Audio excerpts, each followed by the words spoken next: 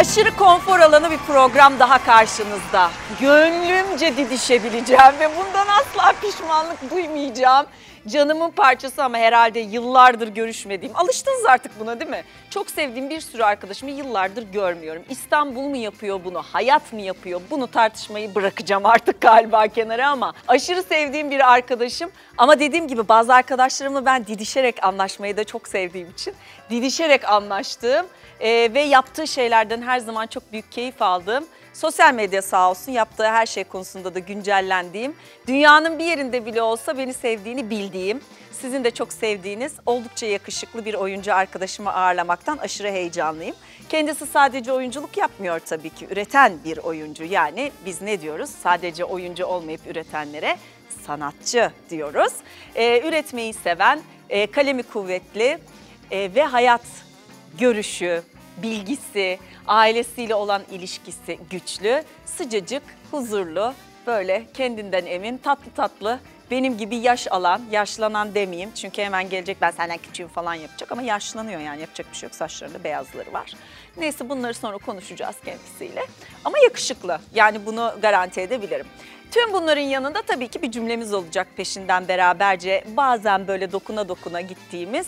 Onu düşünüp sevgili Duygu editörüm bu cümleyi buldu. Bakalım hangi cümlenin peşinden gideceğiz. Oy çok uzunmuş Duygu ne düşündün böyle? Bundan 20 yıl sonra yapmadığınız şeylerden dolayı yaptıklarınızdan daha fazla pişman olacaksınız. Demir alın ve güvenli limanlardan çıkın artık. Rüzgarları arkanıza alın, araştırın, hayal edin ve keşfedin demiş Mark Twain. Tabii şimdi ben böyle uzun deyip e, biraz şaka yaptım ama benim de galiba e, bir tane böyle sözler yazdığım defterim vardır. O defterde çok önemli bir yeri vardır bu cümlenin. Ve evet benim arkadaşım da yakın bir zamanda rüzgarı arkasına alıp gitmeye başladı. Didişmemize hazırsanız canım Sinan Tuzcu'yu davet etmek istiyorum. Ne güzel, ne güzel anlattın onu. Gel buraya. Burada yapamadım. Pantolon giymeliydim bence ben ya. Kuzum benim. Burada selamlamamızı yeterince efektif yapamadık. Hoş geldin. Heyecanlandım ha. Aa niye ayol? Vallahi bak. Aa, bayağı elin titreyecek Tabii kadar. canım ay birden böyle kolay mı ya koskoca Baba Şeyda baba. Düvenci'nin Bak, bak programı. laf yalan söylüyor. Bana neler yapıyor normalde siz bir bilseniz. Yok bu yalan. Bu işte Teşekkür aktör. Saçların mı beyazladı? beyazladı biraz evet. Şey sakallarda da var. Benim de var bak. Biz bayağı 20'li yaşlarımızdan değil mi aslında? Sus sus konuşma. Bak ama benim de diplerim geldi. Bak nasıl beyaz. Canım yani. Onu yaş almak güzel bir şey. Bak. Ben seviyorum. Bana kalsa şu beyazları bırakacağım da biraz fazla erken değil mi diyorlar. Doğru. Nasıl doğru ya? Ya Sizde olunca siz- oluyor bizde niye Sizde daha olmuyor? çok dikkat çekiyor ya. Onda aslında bence sizde de çok. Hani ne, neyi doğal yaparsan o, o kadar güzel oluyor. Evet, Hele bir de sizin doğallığınız evet. yani Ben seviyorum yani doğal olmayı, doğal kalmayı ama erkek beyazlayınca jön jön oluyor. Kadın beyazlayınca bakımsız oluyor. ya aslında onun çok daha şey hali de var. Ee, olası bir gerçeklik hali de var da biz kullanmıyoruz galiba. Evet ya. Çok alıştık o boyalara bilmem nelere filanlara falanlara. Bir de saça Halbuki- zarar verip duruyor. Ben de işte son noktaya kadar Ceyhun çek bak saç diplerimi. Şimdi at kuyruğu yaptım size ayıp olmasın diye. Halime bak nasıl beyaz beyaz. Seviyorum ama bir de ben bunları. Güzel bir şey ya. Bir hoşlanıyorum. Ben her şeysi ya bütün yüzümdeki kırışıklıklar, beyazlar, onlar bunlar, onlar hepsi aslında hayatta gittiğin, yaptığın, yaşadığın her şey değil mi? Onları dümdüz ütülü hale getirince o zaman hayatın da ütülemiş oluyor. En az üç kırışıklığım bendendir ha. Kes daha fazladır. Terbiyesiz. Daha fazladır. Ya şu saçın şu kısmı senden olabilir mesela beyazların. Ya ben böylesini görmedim Neler ya. çektim Allah'ım susmaz susmaz. Neyse program yapıyorsun da artık biraz. Ben karşımdakine göre tavır alan bir insanım arkadaşım. Ben de ne görüyorsan sendendir. evde evde durum nasıl? Hiç bir yani ye- yedin bitirdin çocuğun ömrü var mı hala? İşte gitti Selimiye'ye kaçtı. Oh Dizi canım, çekiyor akıllı 6 adam, ay. akıllı adam, Değil mis. mi? Dırdırımdan kaçtı. Mis. Yazıklar olsun Şehir dışı be. candır abi şehir dışı. Yazıklar olsun Hayat size be. kurtarır. Çocuk mahvoldu bitti ya. Ondan mı eşiniz Paris'te Yarısı yaşıyor? Fenerbahçe'den yarısı ondan Bülent'inki. Fenerbahçe'yi söylemesek mi bir Galatasaraylı olarak? Yapmasak mı Ben? Bülent'in çektiğini söylüyorum. Eşim işinden dolayı Paris'te yaşıyor. Yoksa sen senin hiç işine gelmiyor Paris'te yaşayan bir eşle evlen olmak falan değil mi? Ya tabii ki gelir gelmez olur mu? Nasıl Ayıp gelmez? ya. Hayır ha- o manada değil canım. Ne Paris'te, manada? Ben de Paris'te yaşamış oluyorum sonuçta orada olduğu için. O Havalısın. manada. Gene havalısın. Gene bir havalar, bir şeyler. Ya öyle denk geldi. Bu program bitmez. Bitmez hakikaten. Şimdi biz seni şu projeleri konuşalım sonra e, şey sohbetin dehlizlerinde kaybolalım çünkü 35 dakika hemen geçiyor bak söylüyorum sana. Kesinlikle. Şimdi bir tane sinema filminden sebep buradasın. Evet. Gelmediğin için beni bir azarladın arkada. Evet çağrılmadığım için daha çok. Gelmediğim için de değil. Yoksa çağırsan aslında hani ben Demek ikinci ki- ya da üçüncü olmalıydım. İşte galiba. çağrılacak şeyler yapmamışsın o sırada demek ki son beşe Meltem de burada ama.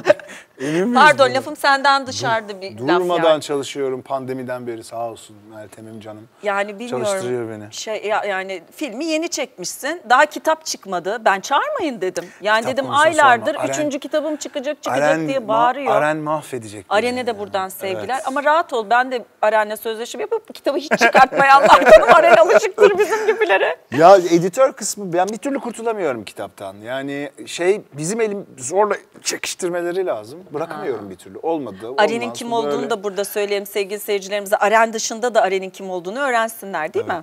Aren Şenokyan, e, İnkılap Yayınları'nın Evet. en tepesindeki canımız, ciğerimiz, Çok sevdiğimiz tatlı. arkadaşımız. Arkadaş olduk yılların içerisinde. E tabi. Masa dostumuz öyle Çok söyleyeyim, tatlı biri, dostumuz. çok bilgili, e, gerçekten Evet. çok kıymetli biri ama dediğim gibi bizim gibi delilere alışıktır. Sen en azından iki tane kitabını çıkarttın. Ben acayip güzel bir projeyle gidip imza atıp asla yapamadım. Herhalde kızmamıştır bana diye düşünüyorum. Heyecanlanıyorsun Bence ama yap- olmuyor. yaptırır onu sana bir şekilde yaptırır. Güzel Ne proje bileyim. hatırlıyorum projeyi. de. Evet çok da güzeldi. Hiç de yapılmadı hala. Peki Film. e, filmi konuşalım. E, Evet. 49. Hande de konuğum 49. oldu. Minicik bir konuştuk onunla da. Ee, gerçek bir hikaye. 49 Evet, tane duydum. vatandaşımızın kaçırılması ve daha sonra Milli İstihbarat Teşkilatı tarafından kimsenin kılına zarar gelmeden kurtarılmasının hikayesi. Evet. Biz bunu biraz daha operasyonel bir, yani hikayenin operasyonel kısmıyla anlatıyoruz. Bu operasyon nasıl oldu, kim kime karşı oldu, ne oldu, ne bitti diye. Tam merkezinde duruyor aslında oradaki e, kadın oyuncu yani Hande'nin e, oynadığı Türkmen Aha. kızı. E, Çok heyecanlıydı Operasyonun da tam merkezinde. ilgili. Çok zor bir şey yaptı. Evet. E, askerliğini yaptı diyebilirim yani. Ay o bir de sıcakta. yani yazın çekmek çok iddialısınız ya. Evet. Bayağı e, Kilis, Nizip, e, Antep Gerçi senin memleketin alışıksın sen. çok sıcaktı ama. Yani bizden kimse, Evet. benim bütün ailem orada. Evet. Bir Allah'ın kulu yoktu. Herkes tatildeydi. Ben o sırada Antep'te çalıştım. Doğru Antepli yazın Antep'te durmaz. Evet, çok sıcaktı çünkü. Sen nasıl Anteplisin ya? Sesin hiç yükselmez. Sakin mi ne? Bunu, bunu konuşalım mı? Yani senin üzerinden konuşalım. Yok bizim ailede de yüksek. Hazal doğru söylüyor. Antep'te böyle bir neden olduğunu bilmediğimiz bir ses yüksekliği var. Herkes birbiriyle bağırarak konuşur. Annem Benim de mesela. dedem, anneannem, annem canım. Öyleler. Hepsi sesi yüksek Hep bir konuşuyor. bağırma. Biz annemin avukat olduğundan kaynaklı sanırdık bunu. Değil. Ama Antep'ten olduğunu şu an anlıyoruz. Evet, Çok yani- sakin adamdır ama. Evet sakin. Dedem de galiba. Yo dedemin de tersi kötüymüş. Yüksek sesle konuş. Ya on- onlar konuşmak diyor ona ama. Kadınlar biraz öyle olabilir belki. bize. Desibel Hazal meselesi. burada. Dövmesin beni sonra. Onu bilemeyeceğim artık. Peki kitaplardan biraz bahsedelim istersen. Ee, böcek benim bildiğim böcek var e, Evet, ve Böcek. okuduğum. Üçlemenin ilki çıktı. Evet. Sonra da e, Aşkın kursağında kalan. kalan o da mi? öykü. Evet o da öyküler. O ama bu üçleme böcek üçleme Böcek üçlemenin ilki. Tamam. E, öbürü de yani Aşkın Kursağı'nda kalan da öykülerin toplamı. Tamam. Yani ikisi birbirinden farklı. evet. Ee, şimdi böceğin ikincisi kayıp işte beklenen ve hani benim bir Çıkamayan. türlü çıkamayan. Ondan sonra m, bir de Sarhoşlar Yalan Söylemez diye diğer öykülerimi, ben öykü yazmaya devam ettiğim için e, yine diğer öykülerimin toplandığı başka bir öykü kitabı daha çıkacak. Yani aslında ikisi üst üste çıkmış gibi olacak Senin ama. bu üçleme takıntın ne arkadaşım? Bilmiyorum. Ne bu? Ama bitmiyordu o Neden üçleme. bilmiyorum. Deli Evet. Yaptım. Sürmanşette de bizi böyle kandırdın. o zaman da öyleydi. Ya sen deli Yazdım misin? ama sonra üçlemeyi. Siz Benim yapmadınız. haberim yok? Yapmanız güven, gü, tabii canım. Güvene falan gitti, teksti okudular vesaire. Ba- bana gelmedi. Öyle İstanbul konuşma da. Belediye Başkanı ile ilgili bir oyundu falan falan. Sünnet düğünü hatırla. Efendim Sürmanşet diye bir oyun yazdı kendisi. Gencecik bir kızdım. Yani evet çok güzel bir oyundu tabii bu arada. Sayenizde. Ee, yani benim için şöyle bir şeydi. Çok sert bir oyundu. Ee, bu in your face dediğin akım yüzüne yüzüne patlattığın gerçekleri bir tiyatro sahnesinde oyunlaştırılmış hali Türkiye'de bir Türk yazarın yazdığı ilk oyundu benim bildiğim yanlış bilmiyor istem. Yani In Your Face'in evet yazı evet. Sadece orada bir şey var. O zaman İtalyan sahne üstünde değildir aslında In Your Face. Evet. Biz İtalyan sahnede oynamak durumunda kaldığımız için İtalyan sahneden kastını da anlat. e, çerçeve biçiminde bir sahnede oynamak Ve durumunda kaldık. ligde galiba önemli In Your Evet, seyirciyle aynı seviyede Evet. olması lazım. Ee, işte biz onları onları yapamadık ama o tamamen şeyden kaynaklı. Hani o durumdan ve ortamdan Evet, kaynaklı. sahneden dolayı öyle oldu. Öyle başka sahnemiz yoktu. Başka bir yer bulamadık. Evet. Ben de çok istiyordum bir depoda oynayalım onu. Evet, Ki aslında bütün dekorumuz vardı. falan da ona göreydi. Aynen. Ama kısmet olmamıştı filan falan. Olmamıştı. Ee, sevgili Tardu Flord'un Beste Bereket, Dolunay Soysert ve Erkan Can. ve Erkan Can. Erkan abiyle hayat boyu unutmayacağım e, sahne. Sağ olsun Sinan'ın ellerinden çıkan o kıymetli sahne. Canım Erkan abicim bazen sahnede ezberini unutan bir abimiz. Çok seviyoruz kendisini. Bebekliğimden beri çok seviyorum yani Erkan abi. O yüzden bana kızmaz.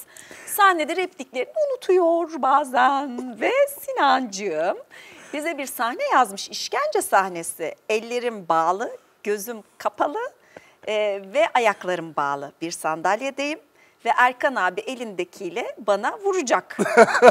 Vururken de bazı sorular soracak. Ben de cevap vereceğim. Ama canım Erkan abicim her oyun sorgu sahnesindeki bütün repliklerini unuttu ve unuttukça da beni dövdü. Çünkü Çok unuttuğu için sinirlendi. Hatırlayamadıkça vuruyor. Sandalyeye vurduğunu zannediyor sırtıma geliyor. Ben böyleyim Erkan abi sor şu soruyu artık diyorum ve artık beşinci oyun muydu neydi? Şöyle bir yol buldum. Evet oradaydılar. Yani soruyormuş da ben cevap veriyormuşum gibi. Sen şimdi bunu da merak edersin diyorum. Evet diyor bunu da Sonra merak ederim. kulağına kulaklık takmıştık hatırlıyor musun? Ne dayak Bence o heyecanlandığı zaman unutuyor. Evet. Ve çıktığımız an sahneden kızım affet beni. Çok canın acıdı? Nerede vurdum? Erkan abi diyorum yok bir şey ama biraz dövdün. Ya gene unuttum ya diye. Sağ ol sen bence bunu bilerek yaptın. Yok canım. Ben hiç kıyar mıyım sana? Vallahi çok didiştiğim arkadaşlarımdan birisi. Hakikaten o doğru. Bence tekim. Yani o anonstaki yok gerçekten de başka. Evet ben de didişir. Ben didişmeyi seviyorum yani onu. e, Senle didişmek de ayrı zevkli tabii benim için. Üretiyoruz galiba biraz o sırada da. Yani iyi de geliyor bize. Evet biz bir dönem çok beraberdik yani. Herhalde bir 6 sene mi? 7 sene mi? O civarda bir şey. Birbirimizi 10 sene- eskitecek evet. kadar. Evet, 10 evet. sene mi hatta? 10 seneye yakın. Ayşe operetiyle başladık hikayeye. Ay ne canım, güzel ne- şeyler yaptık be. Evet bir sürü güzel işimiz var gerçekten. Şimdi dön bak geriye birçok insan yok yanımızda aslında. Evet. Düşününce Canım Gürre Sururi, canım evet. Engin Cezzar. çok güzeldi. Ne Hiç güzeldi. unutmuyorum o e, Nişantaşı'nda yürüyüp provaya gittiğimiz zamanlar hakikaten güzeldi. Gençtik bir de tiyatro Çok. yapma şeyi, hevesi. Seyirci var. Evet. Yani şimdi- Müzikal yapıyoruz. Ayşe opereti müzikali. Evet. Ne Ama acayip. Engin Cezar Gürü Sürü Tiyatrosu'nun son oyuncuları bizlerdik sanırım. Evet. Bizimle kapandı. Gürre Sururi'nin de son kavga ettiği oyuncu. Anlatmıştım daha önce bir daha anlatmayacağım. Neyse güzel bence güzel. Yani bir tiyatro duayeninin e, seni biraz paylaması, ağlatması benim öyleydi yani. Öyle öğreniyoruz ya aslında. Evet ya.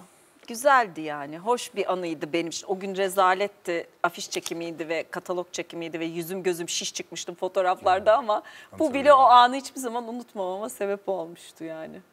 Sen ailenle çok kavga eden bir tip değilsin. Benim gibi cadı değilsin.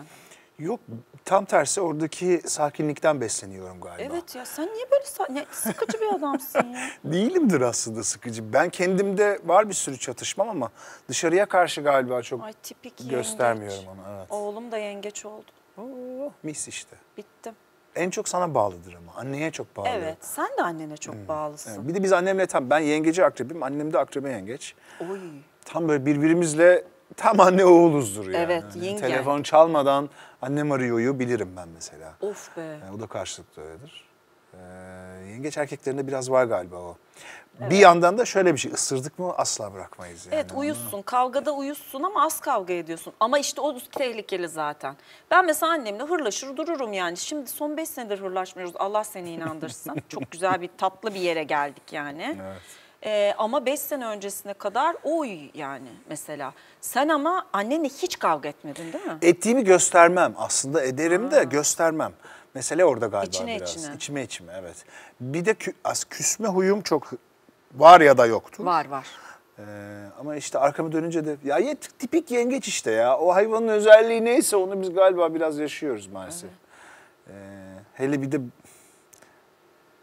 bir de hayatın içerisinde aslında öğreniyorsan belirli bir noktadan sonra neler neleri bırakıp neleri tutman gerektiğini biraz şeyde de öyle, yelkende de öyledir mesela biz hep söyleriz. Düşersen bir yerden tutunmamak lazım teknenin üstündeyken.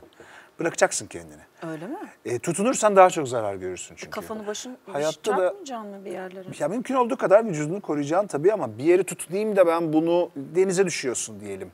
Ay ben şurayı tutayım demeyeceksin. Bırakacaksın kendini denize gerçekten. Aa bu çok acayipmiş. Bu da aslında hayatta da biraz öyle. Yani kavga edip bir şeylerde ısrar edip tutunmanın, ısrar etmenin e, faydasını hiç görmedim ben.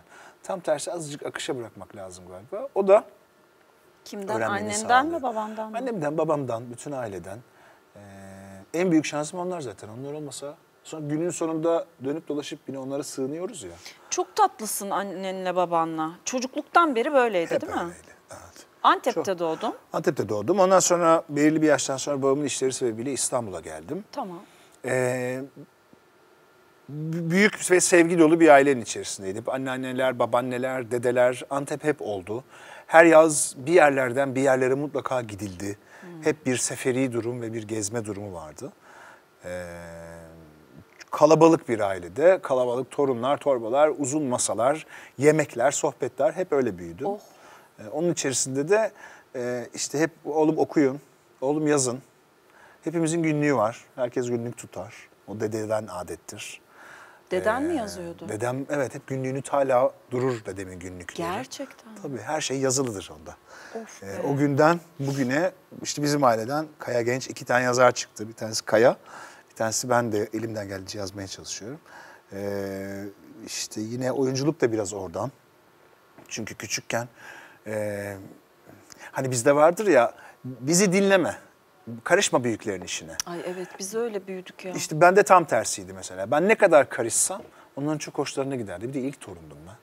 Evet sen biraz şımartılarak büyüdün onu hatırlıyorum. Böyle bir el üstü. Evet, Ama evet. öyle şımarık da bir adam değilsin yani. E göstermem tabii de. Sevgi Sen bilirsin arsızı- yine vardır. Ama sevgi Ha, arsızısın. tabii. Vardır İlla sevilecek, illa dikkat onun üstünde toplanacak. Sıkıyorsa Tabii. toplanmasın. Allah Tabii, o gün bittin. Merkezde Niye ben bakmadın? olmazsam- Niye yeterince sarılmadın? Niye gelip sormadın? Tabii. Niye ona gittin benim yanıma gelmedin? Hakkım Allah hakkım Allah Allah. Ay ne demek hakkım? Her dakika seni aynı mı seveceğim Sevim? Ben hele ki artık kırkından sonra bir eser ekleyeyim ki kimseye eşit sevmiyorum her gün. Öyleymiş. Ben Allah'tan 40'ından sonra görüşmedim seninle. Çok doğru bir zamanda ayrıldın hisli yengeç.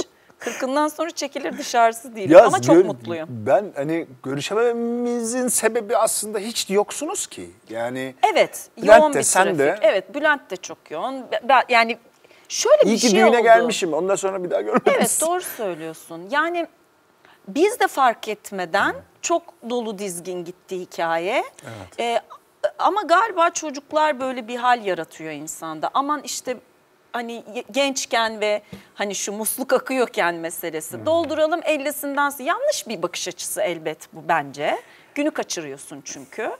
Ama hani bunu biz de diyoruz yani al, iyi ki varlar tabii ki de. Hani çocuk olmasaydı böyle olur muyduk? Hayat böyle mi akardı? Bundan emin değilim. Ee, Çalışıyoruz işte. Durmadan bir iş hali, bir aile hali olunca da biraz şey çember ister istemez. Evet. Bir de bu İstanbul, bu trafik. Evet. Azıcık da şehir bir dışı yerden bir falan. yere gitmek mesele. Ama işte ben artık şöyle diyorum. O beni seviyor, ben onu seviyorum. Birbirimizi düşünüyoruz. Gördüğümüz yerde de kaldığımız yerden devam edebiliyoruz. Bana artık bu insanlar lazım. Hani aramadın, sormadın, niye yoksun, onu öyle niye yaptın? Bu ne? Yani bu bana artık Ben hiç öyle sistemlere hiç sen zaten evet, öyle değilsin. Girmedim yani. Evet dip dibeyken sistemkarsın sen. Uzaktan bak en iyisi seni uzaktan Ben sevmek. oradayken ben merkezde olacağım. Yoksa mümkün değil. Evet evet. Ay. Peki senin bu deniz tutkusu nedir canımın içi? Ya- Aslında vardı senin hep ama bu denli o da olduğunu düşünmemiştim. Yengeçlikten kaynaklanıyor galiba. Ya bir yerden sonra çok hani hep surf yaptım bilmem ne Evet biliyorsun evet o hep dönemlerin sörfü hepsi. seviyordun. Evet. Sonra hani yelken meselesi bir, bir yerden sonra hakikaten insan diyor ki ya ben bir yarımadada yaşıyorum. Evet. E, Dünya güzeli denizi olan bir İstanbul'da yaşıyorum ve bu Aynen. denize sırtımı dönüyorum hep. Ee, Karadeniz'de fark ettim aslına bakarsan bunu. Karadeniz'de çalışırken 3 yıl boyunca Evet, oradaki herkes sırtını dönmüş denize. Ya dünyanın en güzel denizlerinden bir iç denizlerinden bir tanesidir Karadeniz. Hiç kimse bakmıyor yani. Çok az böyle yani yüzde bir, yüzde iki, yüzde üçlük bir kısım. Evet. Orada buna takılmaya başlayınca orada yelken yapmaya başladım aslında. Sonra İstanbul Boğazı, sonra tabii ki bütün Ege vesaire bir sürü de ortak dostumuz var yelkenci olan. Evet. Ee, onların da yardımıyla bayağıdır bütün ehliyetlerimi aldım, her şeylerimi Evet. tamamladım.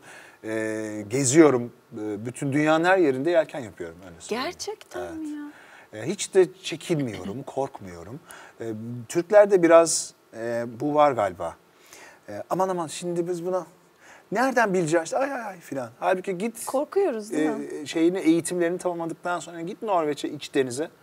Ver ehliyetini, tut tekneni, öğren abi gez. Evet. Biraz paranı kazanınca git diyorum yurt dışına. Sırt çantanı al git. O kadar imkansız buluyor ki değil diyorum. İn havaalanında uçaktan metroya bin, otobüse bin, şehri turla. İnan bana yani çok ucuz paraya bir şehir gezip bir ülke tanıma ihtimalin var ama çok ütopik geliyor onlara. Gidiş dönüş uçak biletinin ya da neyle gidiyorsan trenin vesaireyi biriktirdikten sonra Evet, içeride harcadığın para aynı. Çünkü zaten İngiltere'de memlekette her şey yaşadın. dolar yaşadım.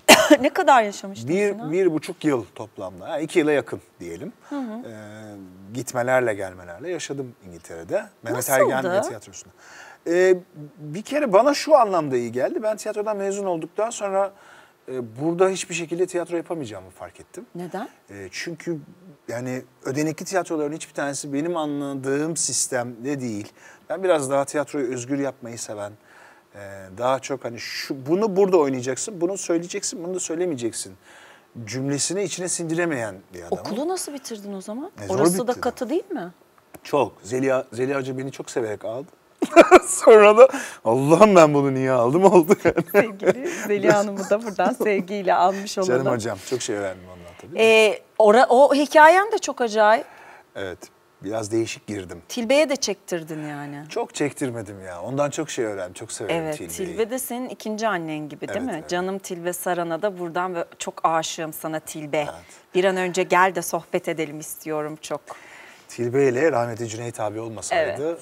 ben ne bu işe girebilirdim, ne böyle bir şey olurdu. Onlar senin hayatında önemli, çok, Çok. önemli dönüm noktaları. Çok.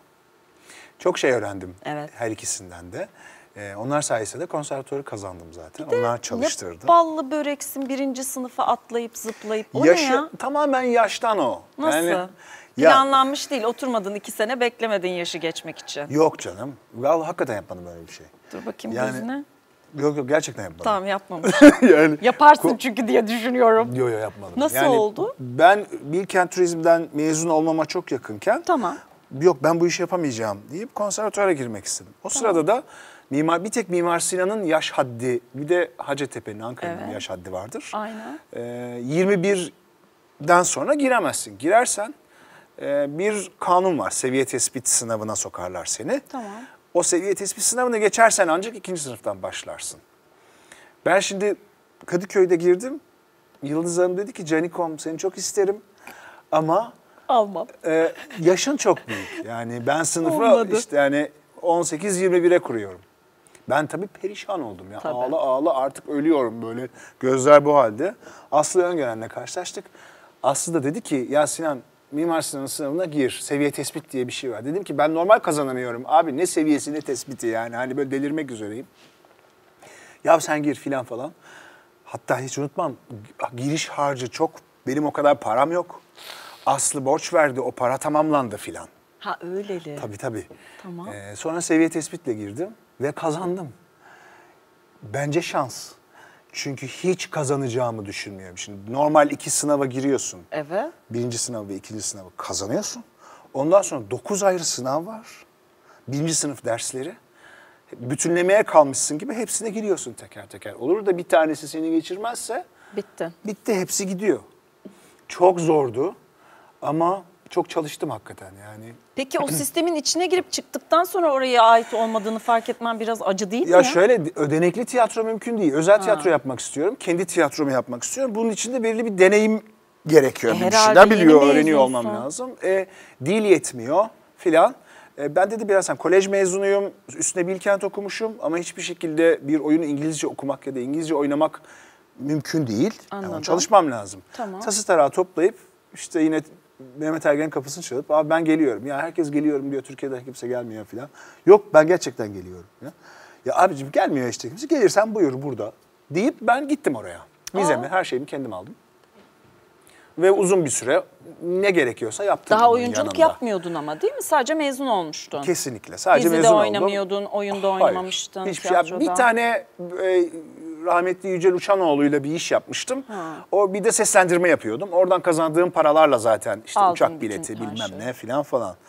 Ee, sonra da yavaş yavaş işte ne varsa orada yapmaya çalıştım. Bir sürü insanla tanıştım. Bir sürü oyun izledim. Dilimi geliştirdim. Hmm. Ee, İngilizce oynayabilecek noktaya geldim. Auditionlara girmeye başladım. Ondan sonra Thomas gitti oldu. Sen bir gel bakayım diye. Ay evet ya. İşte orada İyi başladı. mi oldu, kötü mü oldu emin değilim Sinan. Her şeyin bir sebebi var şimdi. Evet.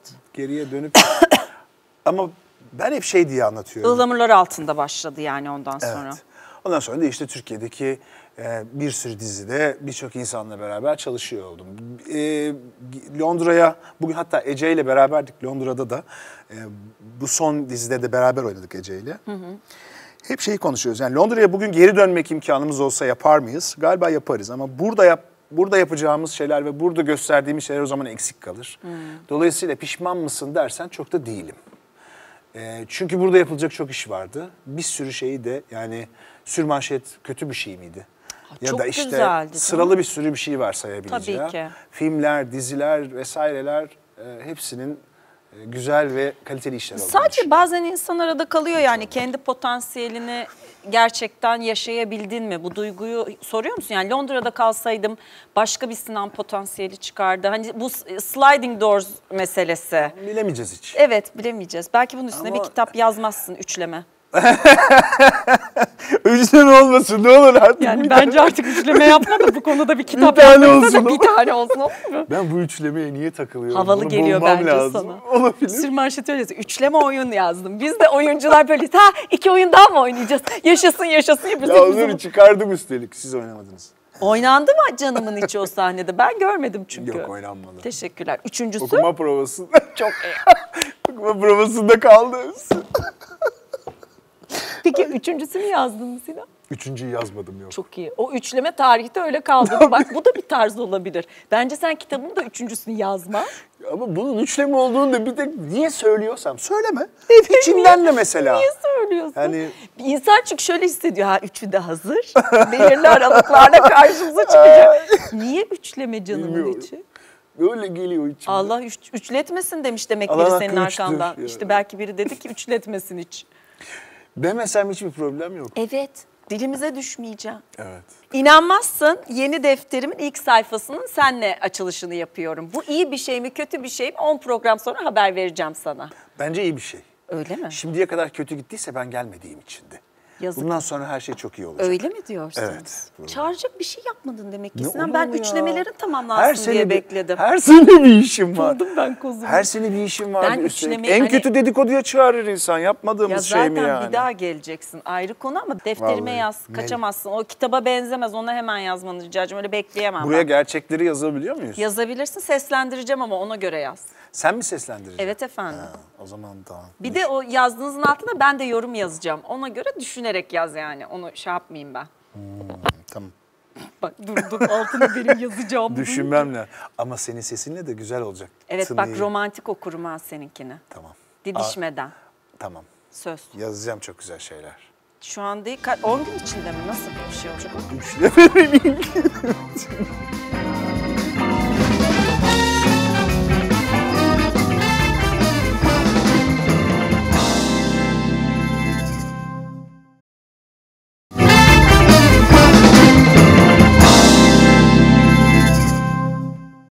Ee, şimdi soracağım sorunun cevabını sosyal medyada yayınlıyoruz. Düşünmeye minicik zamanın var. Programı kapadıktan sonra alacağım cevabını. Ee, 70 yaşındasın. Teknedesin. Denizin üstünde. Tam da doğum günün. Güneşi doğurdun. Güneş böyle üstüne üstüne doğdu. 70 yaş. Sonra yanında kim varsa artık önüne bir kartpostal koydu bizim zamanımızdan. Dedi ki bunun arkasına yaz bakalım Sinan Tuzcu. Tarihe ne bırakmak istersin 70 yaşında? Ne yazardın arkasına? Bir düşün bakalım. İyi ki varsın. Seni seviyorum. Çok güzel, güz- çok seninle güzel bir soru çok güzel. Sen de eksik olma hep. Cevabını sosyal medyada dinleyeceğiz ama eminim onun cevabı Sinan'ın aklında. Dostlar iyi. Görmesen de hani o köy bizim köyümüzdür hesabı var ya işte öyle dostlarım var benim aslında. Sevgili Müjdat Gezen'in de dediği gibi paradan çok dost biriktirmek. Belki dip dibe değiliz, belki göz göze değiliz ama her daim kalp kalbeyiz bin şükür. Didişmek de keyifli, e, sevmek de keyifli. Bence her şey çok keyifli. Sevgili Sinan şahane bir program bıraktı ardında ve galiba aile olmanın, anne babanın kıymeti ve anneyle yürek birliğinin özeni, önemi bir evlatta nasıl tezahür eder? Biz sevgili Sinan Tuzcu'da bunu gördük. Ha tabii bir cümlesi daha var. Başladığınız hiçbir işi üçleme niyetiyle başlamayın. Olduğu kadarını kalbinize koyun. Yolunuza devam edin. Sinan rüzgarı arkasına alıp hayata devam eden, yaş almanın hakkını veren canım arkadaşım. Onu ağırlamak benim için de çok güzeldi. Bir başka bambaşka sohbetlerde görüşmek üzere. Arkanıza rüzgarı almaktan korkmayın. Yılların eskitemediği arkadaşlık bizimkisi. Şunu anladım, uzun zaman görüşmesen bile gördüğün anda kaldığın yerden devam edebildiğin dostların olması çok büyük bir keyif. Sayfasının satırlarını şöyle tamamladı. 25 yıl uzun zaman. Bunu 35 dakikada tatlandırmak ne mümkün. Seni sen olduğun için ve bunca zaman benimle dost kaldığın için seviyorum. İyi ki. Daha nice programlara.